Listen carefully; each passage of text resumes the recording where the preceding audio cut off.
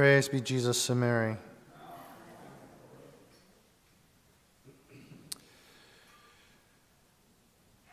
In today's gospel, we begin to notice a transition in the way our Lord is presenting himself to the disciples.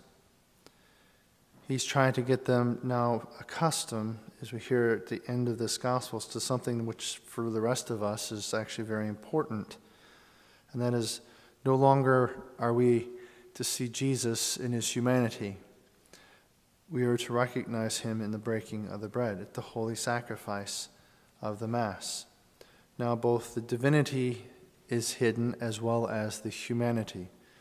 In fact, this is a, an important point sometimes which people may miss when uh, we know from St. Paul, uh, he says at one point, you know, those who, you know, see don't have faith because faith is, is in believing in what is unseen. And so then, how is it that Thomas is, you know, it said of Thomas when, uh, you know, he says, Well, I will not believe unless I can put my finger into the hole and my hand into the side of our Lord. And then he would make a profession of faith when this would in fact happen. And that's the real faith of Thomas. He doesn't recognize a man, he recognized as God and human hidden in the humanity of our Lord. And our Lord wants us, too, which is important for us to recognize not only that humanity, but that divinity which is hidden in the Blessed Sacrament. You know, we're not too many, you know, a couple more Sundays, uh, a few more than a couple, but towards the end we'll be celebrating Corpus Christi, and some of these things will be brought again to us but for just a moment, just to recognize the importance of this transition as the apostles are still, they're still sorting things out. Things are happening as we, you know, we're already, you know, four days into celebrating Easter, and all this is actually already on just Easter Sunday. All these things that have happened and we're reflecting on. So it's happening, things are actually happening very rapidly. Um, one can perhaps appreciate the confusion uh, that the disciples are undergoing. You know, the, everything is just, you know, they've barely gotten over the shock of the crucifixion. The next thing they know, they hear, he's walking around again? Where? Where is he? Why doesn't he, why doesn't he show himself to us? Why don't we see him? And it's because we have to get used to seeing him in another way. They were all, you might say, in a certain sense, his exhortation to St. Mary Magdalene is something for all of us. You know, we need to cling to our Lord who is in heaven not to the, his presence, uh, as it were, his humanity here in this world, and to redirect ourselves in our daily lives, you know, to focusing on this, this divine mystery, you know, our Lord present with us always. You know, sometimes uh, St. Teresa of Avila beautifully talks about this. You know, we sometimes we read the scriptures and, oh, you know, what it would be like. Can you imagine, you know, sit down and have a, a, a supper with our Lord? You know, have him come into your house and sit down and break bread, you know, have a nice meal with you and all these kinds of things. Uh, to tell him from your heart right, right to his face, and yet we can do this. We can come and we can have a face to face. We can have an intimate conversation with our Lord. All we got to do is pay a visit to him. Or even better yet, to talk to him. You know, how often I'm, i mention this, you know, we go out of our way, and I don't, not in no way want to belittle, of course, adoration of our Lord in the Blessed Sacrament. But how about when we are the tabernacle? How about when we are the monstrance? In other words, how about when we have received him and he is within us? St. Teresa, St. Teresa of Avila says there is no more intimate time to talk to our Lord, no better time to talk to him to tell him our needs, to tell him our troubles, to tell him our difficulties. Because he's within us. There's no more intimate time that we have with our Lord than just after we have received him in Holy Communion.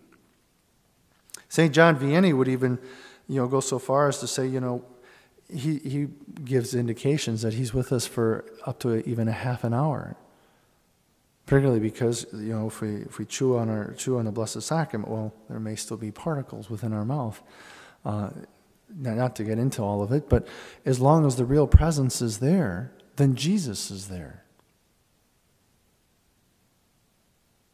And he would caution people, you know, after receiving our Lord, you know, to be careful of anything that might come out of the mouth because our Lord may still be present. You know, to be aware of, and that's part of you know, our belief in the real present, that our Lord is whole and entire, even in the smallest of fragments. And to believe that. It's not just because it's a small particle doesn't mean that Christ is, well, he's only kind of partly present. No, he's wholly present.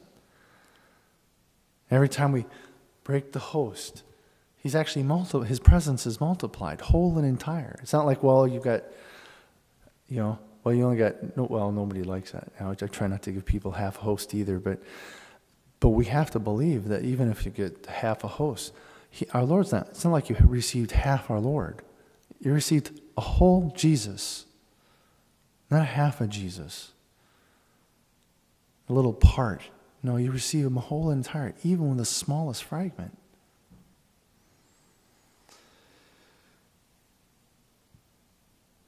Another thing, too, you know, in the shock of the Gospels, in the shock of all the events with the disciples,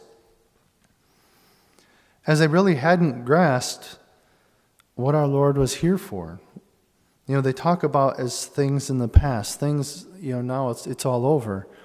And to realize, even in the events of our lives, even world events or whatever else, that everything is really in God's hands. You know, we can't maybe affect big changes in the world, not by ourselves, but with, with the power of God, with our prayers. You know, doing what we can in the little spheres, you know, we can realize there's big things going on in the world. Um, all we need to do is to do what we can in, with those people, if you will, that touch our lives. You know, St. Peter and St. John today, and we hear the first reading, they made a man walk and by the name, you know, calling upon the name of our Lord.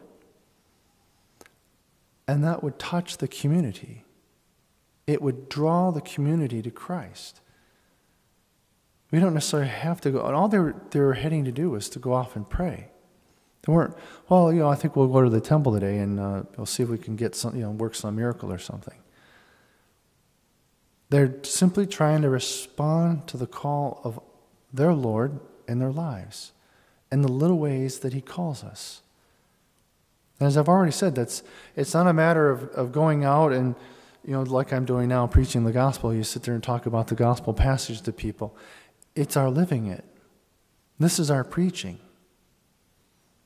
Now, even before I get here, my real preaching is in the example of my life.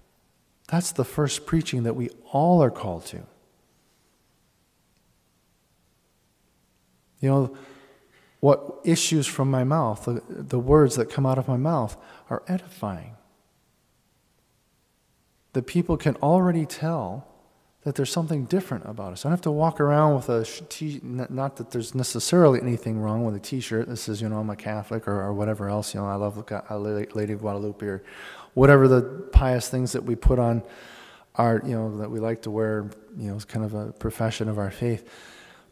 That's nice, but if that's the only way people can know that I'm a Catholic is because of the T-shirt or hat that I wear on my head, well, then something's really wrong with my with my profession of faith. People should know I'm a Catholic just because of the way I talk and behave. That's I don't know if you picked that up, but you know Peter is you know, when Peter is in the midst of being afraid and denying our Lord. One of the, the accusations is to say, Surely you must be one of his disciples because even your speech betrays you. And it's not because he talked like a Galilean, it's because he didn't talk like other people. He didn't, re- he didn't find things funny that before God aren't funny. This whole way of life, you know, in the Christian life, it's something that's really touches on our, on our very being. Whether we're with others and whether we're by ourselves, everywhere, everywhere I'm a Catholic, because God is always present with us. We never leave him alone. I should say, he never leaves us alone. We, we might leave him alone by our sins, to chase him out of our life by our sins, or try to chase him out. But then he pursues us in this great love of our Lord.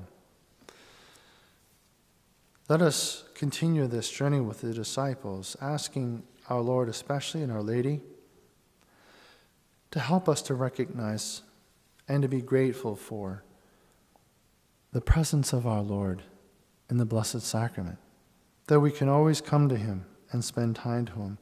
But let us not omit those precious moments when He actually comes to dwell within us. We come to visit Him in His tabernacle or in the monstrance.